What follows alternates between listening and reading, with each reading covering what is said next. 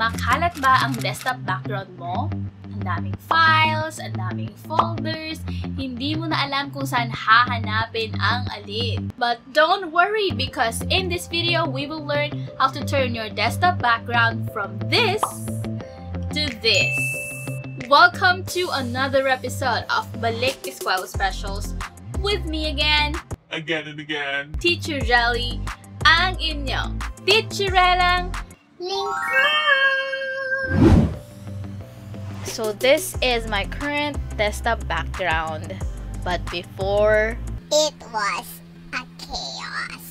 sobrang gulo. Basta hanggat may space, may file or folder dyan. So, ayan, super happy ako nung, nung na-organize ko yung desktop background ko kasi, alam mo yon when your working space or, you know, when your background, desktop background is not cluttered, hindi rin cluttered ang utak mo. So, ayan. Paano ba natin ito gagawin? Napakadali lamang po. Go to canva.com. Once you are already in canva.com, just hover your mouse over here in the search box and then type desktop wallpaper. Okay, and then over here you will see lots and lots of template that you can change, you can modify based on what you need. So, you know, it, it depends on you if you want a minimalist or a neutral kind of style or very fun colors, vivid colors. Ayan, marami tayong pagpipilian dyan and dito lang din galing yung desktop background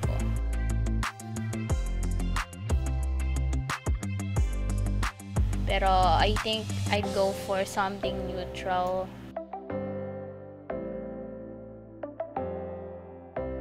Yeah. Ayan, medyo hindi ko alam kung ano pipiliin ko. Siguro ano ba?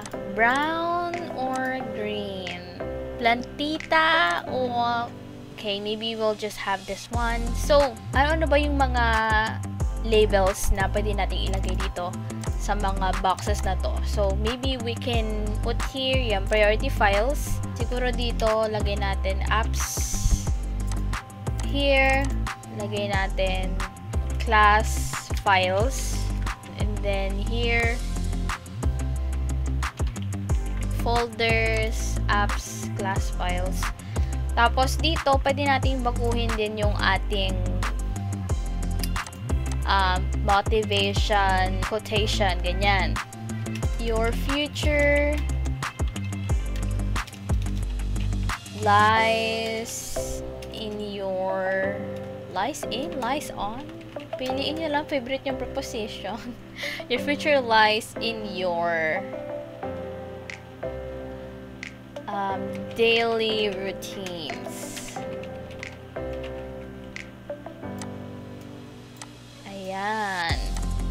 Ngayon, if you want to change the shade, kung if you think it's too dark or too light for you, you can just select a new color, like this.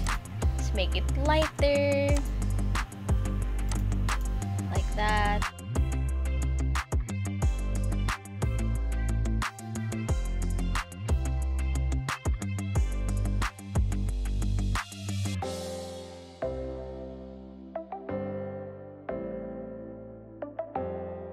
Something lighter.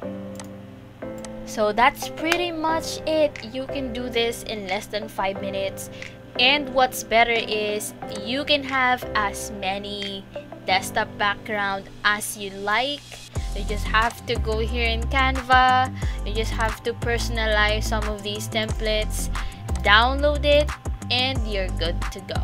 Um, after downloading it, uh, what you you should do to set it as your wallpaper is, of course, you click the file. And then, pag na-click nyo na yung file, click nyo lang tong three dots dito, see more actions. And then, click set as, set as background. If you find value in this video, feel free to leave a thumbs up, leave a comment below, and share it with your friends. I'll see you again, syempre! Bye-bye!